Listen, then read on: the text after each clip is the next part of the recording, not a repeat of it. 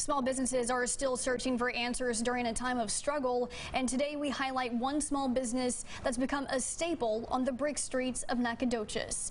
Whitney is the owner of Blue Horse Bakery. She's having to think of creative ways to adapt her business during this COVID-19 outbreak. She says her four-year-old inspired her to make do-it-yourself cake and cookie decorating kits, each kit coming with baked goods, different colored icing, and of course fun toppings.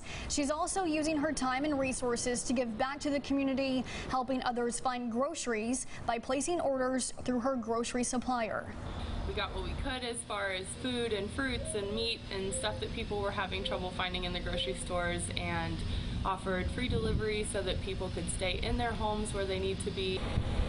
Whitney says she looks forward to opening the bakery's doors soon so the public can go ahead and come back in.